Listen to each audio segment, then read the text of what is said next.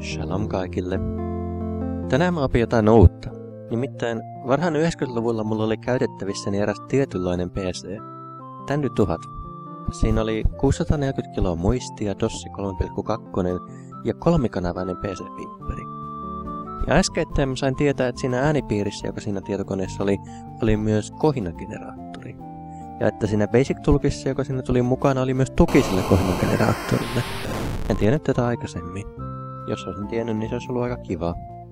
Sen aikaisissa pelikonsoleissa oli kerrassaan upeat ääniefektit, jotka oli suorastaan kulmakiviä 80-luvun suosituimmille peleille niin kuin Space Invaders ja Missile Command.